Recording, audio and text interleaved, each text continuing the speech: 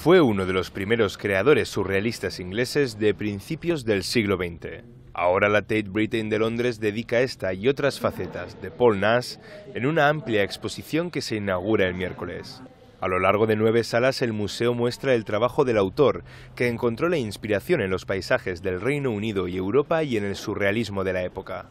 Es el caso de We Are Making a New World o la famosa Toad's Mere, donde los paisajes de la Primera y Segunda Guerra Mundial se convierten en protagonistas. Y es que Nash se convirtió en artista oficial de guerra en 1917 y consiguió expresar la pérdida de la vida a través de la violencia de la naturaleza. Pero la guerra se reflejó también en trabajos posteriores como The Shore, donde evocaba la belleza de la costa de Kent que le sirvió de terapia para recuperarse de los horrores del conflicto.